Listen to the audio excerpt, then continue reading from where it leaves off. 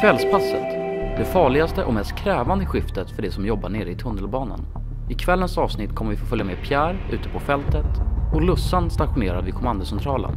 Kvällspasset hade knappt hunnit börja innan Lussan var tvungen att larma till Pierre. Vi har en 627 vid Enskede gård, spår 4 nära huvudentrén. Tar den Pierre. Ja, jag tar den. Perfekt. Ja. Tjena. Hur är läget här då? Ja, det är bra. Du, eh, det här ser inte så bra ut.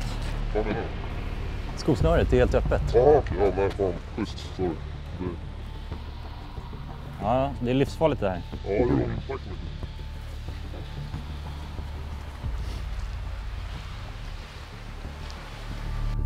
Till en början verkade mannen lugn. Men så fort tåget åkte in till plattformen ändrades läget snabbt.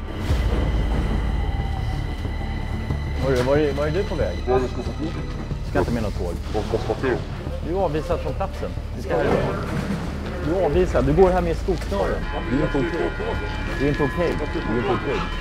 Du är avvisad från den här platsen. Det här är min perrong, här är jag som bestämmer. Du lyssnar på mig. Du lyssnar på mig. Ska jag tanka emot? Ska jag jag kalla på förstärkning? Pierre fortsatte argumentera med mannen tills han fick ut honom ur perrongen. Nej, men det som eh, hände nu var att jag satte den här mannen i en taxi så kom han hem säkert och tryggt. Då. Och eh, ja, den här mannen var ju inte bara en fara för sig själv utan även för övriga resenärer här på perrongen. Jag kan förstå att han är lite sur nu, men eh, imorgon när han vaknar så kommer han förstå att eh, det jag gjorde här, det, det var för hans egen skull. Ja, en eh, 627 det är då oknytet nära räls. Det känns väldigt tryggt att ha Pierre i närheten när en sån här situation uppstår. Stockholms tunnelbanesystem är ett av världens största och skulle kunna vara en riktigt obehaglig plats om det inte vore för alla ordningsvakter. Runt 18-tiden får Pierre ett larm om en förvirrad man vid Gullmarsplan. får skynda sig. Halloj, hörru! Vad är det här då? Hur står det till? Det, är bra med mig. Ja. Jävla låtsasnut. Hörru, Ja. hörru, Ja, vad är det? hörru. Vad är det? Bra med. Det är, det är korttåg här. Det är, det är bättre om du går närmare, mot mitten av perrongen. Ja, men Jag flyttar på dig då.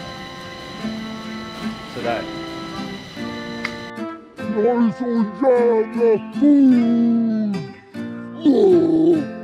Ja, jag gjorde ju såklart då en bedömning av den här situationen och eh, jag bedömde att den här mannen inte var en fara för sig själv. Jag ska ta mitt liv. Ja, eller för någon annan för den delen. Och så ska jag döda alla andra på det här jävla tåget.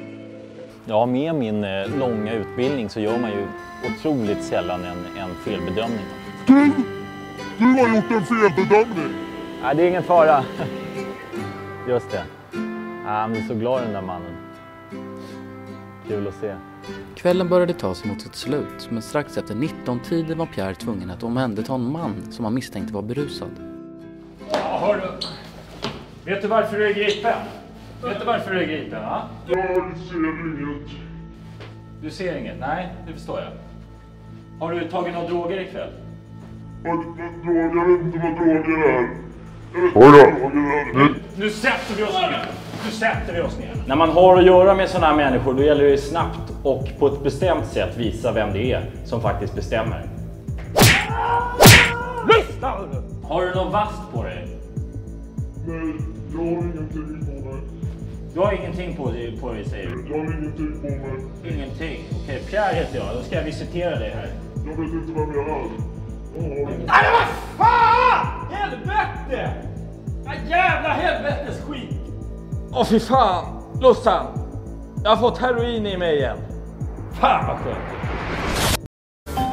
Hörru, stanna upp! Växla nu! Hallå! Han rör sig norrgående. Jag är efter.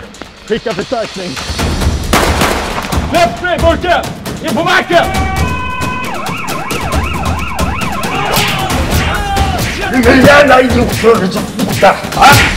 Fan Lussan, jag råkade döda en klottrare här igen. Det är en jävla massa blod. Svarte! Ring advokaten! Svarte! Svarte! Hugg min rad! Hugg min rad!